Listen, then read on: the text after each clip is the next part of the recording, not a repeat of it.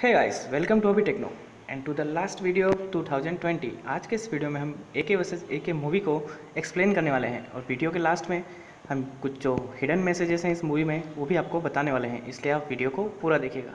अब मूवी की शुरुआत होती है एक इवेंट से, जहाँ अनुराग कश्यप और अनिल कपूर एक साथ बैठे होते हैं और बातें कर रहे होते हैं, तभी ऑडियंस में से एक सवाल पूछती है कि हम इस इंडस्ट्री में, बॉलीवुड इंडस्ट्री में किस तरह से एक अच्छे डायरेक्टर बन सकते हैं। तो अनुराग कश्यप उनका जवाब देते हैं कि आप नहीं बन सकते। आपको सालों तक, बहुत सालों तक मेहनत करनी पड़ेगी क्योंकि रातों रात आप फ़ेमस नहीं होने वाले।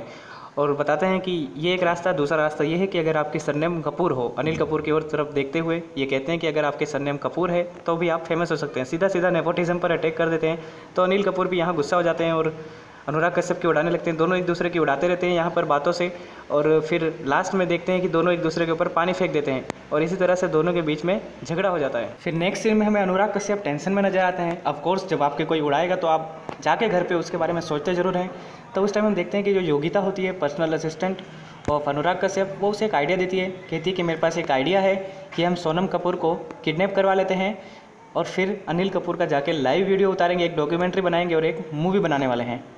तो अनुराग कश्यप इस बात को मान जाते हैं। अब अनुराग कश्यप अनिल कपूर के पास जाता है और कहता है कि हमने तुम्हारी बेटी को किडनैप कर लिया है।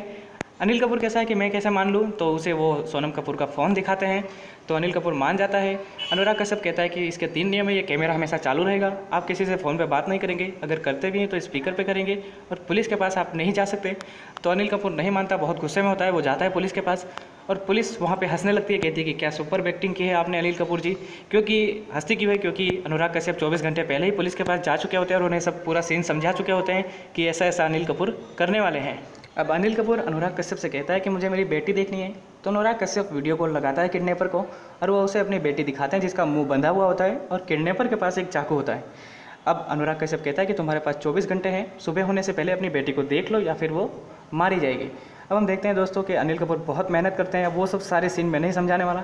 क्योंकि रिज़ल्ट उसका एक ही निकल के आने वाला है। अब अनिल कपूर को मालूम होता है कि उसकी सोनम कपूर जो बेटी है, वो किसी एक इवेंट में जाने वाली होती है और वहीं से उसका किडनैप हुआ है। अब वो इवेंट में जाता है और वहाँ पर जो कर्मचारी होता है उससे कहता है कि मुझे सीसीटीवी कैमरा की फुटेज देखनी है। लेकिन वो ना बोल देते हैं, तब मैनेजर आता है। मैनेजर कहता है कि एक शर्त पर मैं दिखाऊँगा, आपको मेरे साथ सेल्फी लेनी होगी।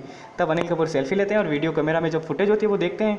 और इसमें किडनेपर की शकल, एक किडनेपर की शकल दिख जाती है। अब बहुत मेहनत से अनिल कपूर उस किडनेपर को ढूंढ लेते हैं और किडनेपर जो होता है वो पकड़ के अनुराग कश्यप के घर पे ले जाता है अनिल कपूर को और वहाँ से किडनेपर भाग जाता है। अब किडनेपर को ढूंढते ढूंढते अनिल कपूर का एक बार एक्सीडेंट भी हो गया होता है और उनके पूरे शरीर से खून निकलता है। हम देखते हैं कि किडनेपर जो है वो अनुराग कश्यप के घर पे ले आया है अनिल कपूर और अनुराग कश्यप को। अब अनुराग कश्यप को यहाँ पर डाउट होता है क्योंकि ये स्क्रिप्ट से थोड़ा अलग चल रहा होता है। अब अनुराग कश्यप अपने घर पे जाता है वहाँ पर, लेकिन चेयर पड़ी होती है, रस्सी पड़ी होती है, लेकिन सोनम कपूर नहीं होती और उसके मम्मी पापा भी नहीं होते अनुराग कश्यप के। अब अनुराग कश्यप खींच के एक तमाचा मार देता है अपने असिस्टेंट डायरेक्टर को, जो कि है योगिता, जिसने कैमरा पकड़ा हुआ है। अब वो गिर जाती है। अब अनिल कपूर उसे रोकने की कोशिश करता है। अनुराग कश्यप कहता है कि ये सब स्क्रिप्ट में नहीं था और ये सब अलग तरीके से चल रहा है। योगिता ने कुछ किया है। अनिल कपूर अब एक्टिंग करता है कि मेरी बेटिंग कहाँ है?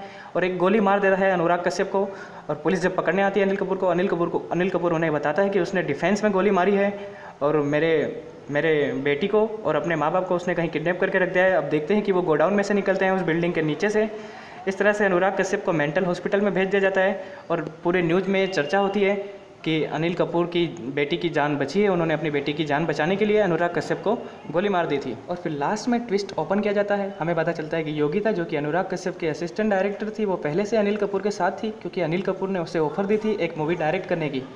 और जो स्टोरी होती है पूरी की पूरी किडनैपिंग वाली, वो अनिल कपूर ने ही योगिता को बताई थी और उसे कहा था कि ये अनुराग कश्यप को बता देना।